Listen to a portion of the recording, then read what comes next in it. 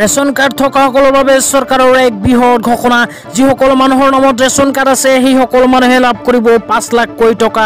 এই বিষয়ত হেমন্ত বিশ্ব শৰ্মাই কি মন্তব্য আগবঢ়াইছে আপোনালোকক লাইভ শুনাব বিচাৰিছোঁ। লগতে মোৰ চেনেলত যদি নতুন হয় এনেকুৱা নতুন নতুন আপডেট সকলোতকৈ আগত পাবলৈ প্লিজ চেনেলটো ছাবস্ক্ৰাইব কৰি মোৰ লগত থাকিব। তো বলক ভিডিঅ'টো আৰম্ভ কৰি হিমন্ত বিশ্ব শৰ্মাৰ মন্তব্যখিনি চাই লওক। যিমান মানুহৰ হাতত ৰেচন কাৰ্ড আছে।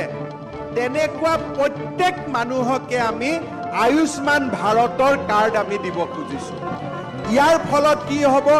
যে ৰেচন কাৰ্ড থকা প্ৰত্যেকটো পৰিয়ালে পাঁচ লাখ টকাৰ প্ৰত্যেক বছৰে তেওঁলোকে ট্ৰিটমেণ্টৰ সুবিধা পাব আৰু যাৰ ৰেচন কাৰ্ড নাই তেওঁলোকে অটল অমৃত অভিযানৰ আঁচনি আগৰ দৰে পাই থাকিব এই কামটো যদি আমি কৰিব পাৰোঁ অসমৰ পঁচাশী শতাংশ মানুহক আমি স্বাস্থ্য সেৱাৰ বাবে বছৰি পাঁচ লাখ টকালৈকে খৰচ হ'ব এনেকুৱা এটা ব্যৱস্থাৰ মাজত আমি আনিব পাৰিম।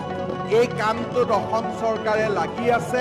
মই আশা কৰোঁ যে অহা বছৰৰ ভিতৰত এই বিত্তীয় বৰ্ষৰ শেষৰ ফালে আমি আয়ুষ্মান ভাৰতত আয়ুষ্মান অসমলৈকে ৰূপান্তৰ কৰি প্ৰত্যেক তিনটকীয়া চাউল বা বিনামূলীয়া চাউল পোৱা প্ৰত্যেকটো ৰেচন কাৰ্ডৰ পৰিয়ালক আমি এই স্বাস্থ্য সেৱা আঁচনিৰ লগত আমি জড়িত কৰিব পাৰিম।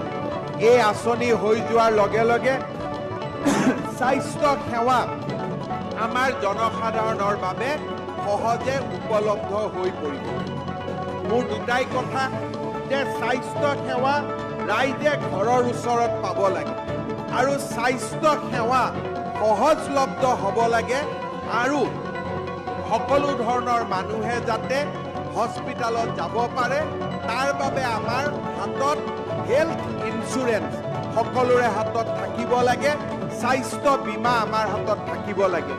এই দিশত আমি ৰাজ্য চৰকাৰে কাম কৰি গৈ আছোঁ।